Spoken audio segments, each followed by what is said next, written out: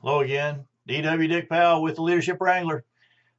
Your Wranglerism for the day. This one goes like this Everything I do today is in preparation for tomorrow. Some words to think about. Till next time, remember, you are never on this trail all alone.